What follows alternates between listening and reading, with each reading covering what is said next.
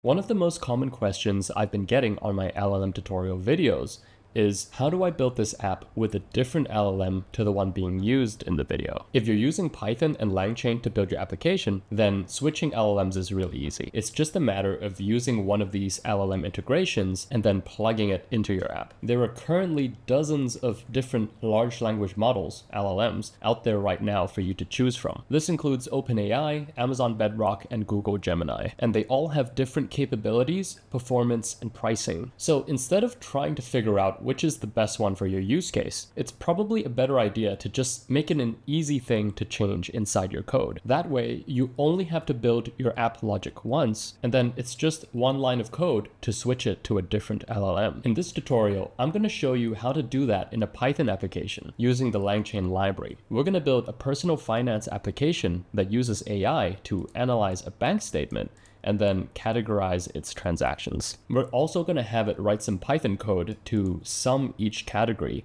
and then give us the final result. But the app itself isn't the important part. What we're going to focus on is how we can use LangChain to build the logic for the app and then switch between three different LLM providers really easily. The models we'll be using for this app are going to be OpenAI's GPT-4, Claude V2 via Amazon Bedrock, and then Google Gemini Pro. As you'll soon see, this is all super simple to set up. It's crazy how easy it is to become productive with these technologies in such a short time. And by the end of this project, we're gonna see how all three of these perform on the same problem using the same set of data. Let's get started. First, let's build the base application. The code is going to be available in this GitHub repository if you want to follow along. You'll also find a link to this project in the video description. You're going to need the following dependencies, so make sure to install them in your Python environment. First, we'll need the LangChain package to build our application logic. Then, we'll need these additional client SDKs from OpenAI, AWS, and Google depending on which LLMs you want to use. Or you could just install all of them right now as well. The goal of this app is to read a bank statement and categorize its transactions. And here I have a sample bank statement in CSV format. It's got a date, a description, and the amount spent. But as you can see in the description, there's actually different company names like Walmart, Netflix, etc. I want to use AI to turn these company name descriptions into one of the following categories that I've predefined. So for example, Netflix might become entertainment and Starbucks might become eating out. I want to do that for all of my transactions so I have the amount spent expressed as a category instead. And once all of my transactions are categorized, I want to have my app write some Python code to sum them all up by category so I know how much I'm spending in each category. I'm actually going to be using the output of the first part of the app to hard code those values into the Python script that I will ask my app to generate. Now, this is a pretty basic problem and it's not actually really important what it does. I just want to put my app through a few hoops so that we can use it to demonstrate how to apply these different AI models from the same code base. Now to get started, you can either clone this project or create an empty one. And the first file we're going to make is a bank statement file, and we're going to name it bank underscore statement.csv. The CSV file should look something like this. You can use your own data if you want to for this project, or you could just go to my GitHub and download the CSV yourself. The app that we're going to write is going to use two prompts in sequence. The first prompt is going to ask it to categorize each transaction. The second prompt will use the output from the first one and ask it for a Python script to calculate the total sum for each category. We'll then use LangChain to create templates from these prompt strings. And then we'll create an LLM chain from these templates. We actually haven't initialized this LLM variable just yet, but we're gonna do that in the next chapter when we plug in our first LLM. We'll then connect these two chains into a single sequential chain. Now, when we use this chain, it's gonna run the first prompt with the LLM we've chosen, and then pass that output into the second prompt. And you can do all sorts of crazy things with LangChain, but for now, this is just a really simple example to get us going. Once our chain is ready, we can read that data from the bank statement CSV file from earlier, and then pass that into the chain as input. By the end of this video, you should have an output like this after you run it. You'll have each transaction categorized, and then a hard-coded Python script to sum them up that hopefully gives you the right answer. If we go back to our code editor, then this is what our project currently looks like. We've got our LangChain imports at the top, and then our prompt templates here as a string. And then here we're putting together our app with the templates, the chains, um, and then actually calling the chain with the bank statement. And if we click over here as well, they should be a bank statement CSV file with all of our data. Um, and notice as well that this LLM variable isn't defined yet. So our app is ready, but it doesn't have an LLM. Um, and this logic is the same no matter which LLM you use. So as you'll see really soon, all we have to do is just define what this LLM is. And it can be OpenAI, it could be Amazon, or it could be your own open source LLM.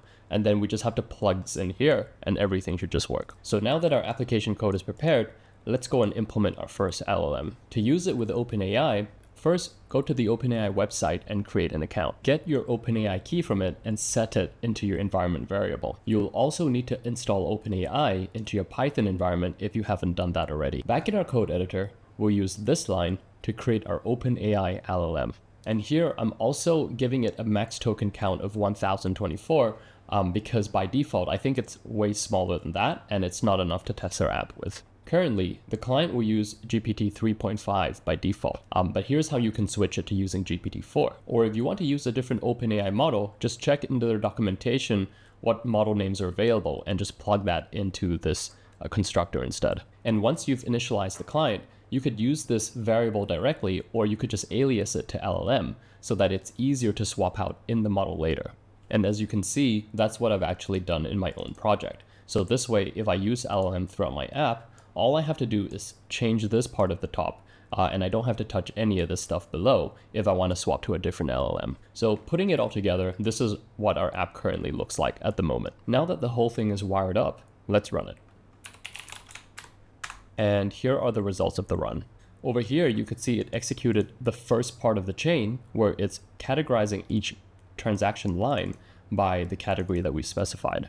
In the second part, it's then used the output of that, which we've provided as um, an input parameter to the second prompt, to create a Python script uh, that can calculate the sum of all categories. So now I'm just going to paste that entire piece of code into an empty Python file, and I'm going to try to run it to see if it works.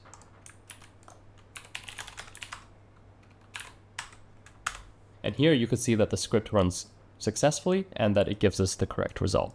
If you really wanted to take this a step further, you could probably write your own unit test or something um, that actually has the correct number for each of these so that when you try different LLMs, you can actually have a way to compare the quality of the output. But that's a little out of scope for today's video. For now, let's move on to the next LLM. To use Amazon Bedrock, you'll first need an AWS account and you also need the AWS CLI. If you don't have those yet, then I'll put some links in the description on how you can set them up. And if you haven't enabled Bedrock yet either, you have to log into your AWS console and then go to the Amazon Bedrock service. For this, you need to use the US East 1 region, or any of the other few regions that it is available in. And then go here to model access and then make sure that you've enabled all of these models. Um, if you haven't enabled them yet, then you can click manage model access and then just tick all of them and then click save. Now back in your Python environment, also install the AWS SDK. It's called Boto 3. Now, LLM Bedrock isn't actually a model. It's a platform that offers you several different LLM models you can choose from. One of these includes the Claude V2 model from Anthropic and the Llama 2 model from Meta. And here are the IDs of the models that we're going to use. This could change later, so just double check the documentation to see what the latest model name is,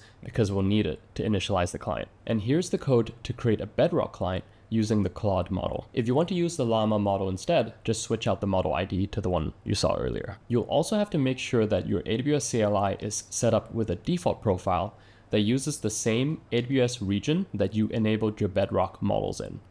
For example, US East 1 or whichever region you ended up choosing. Your credentials will also need to have access to call Bedrock. So unless you're an admin user, you might have to go and make sure that you enable those permissions first. With the client ready, we could just go ahead and substitute the LLM for the Bedrock one and run the app again. Here's what my code currently looks like. And this time, the results are slightly different than what OpenAI gave us. And if I copy the script into a file and try to run it, then it runs successfully and gives us the correct answer as well. Finally, let's try this out with Google Gemini Pro. First, you're going to need a Google API key. You should be able to go here to get one really quickly. Once you have it, put your API key into your environment variable. And if you didn't do this at the start, also install the LangChain Google Gen AI library. Back in the editor, this is how you can create a Google AI client. we're going to use the Gemini Pro model, again with max tokens of 1024. And just like before, we'll plug this into the rest of our code and run it, and it should just work. And here the script seems to run completely fine, and the Python script it gave us seems to work as well. So now, if you're at this point in the video, you've built an AI application with some custom logic that you can switch between three different LLMs just by changing this one line.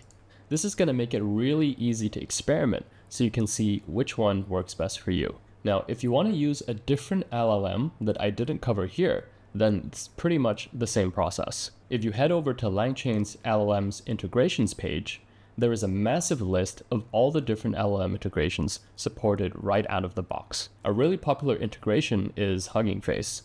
I haven't had a chance to use it myself yet, but quite a lot of you have asked about it, so it's here if you want to try it out.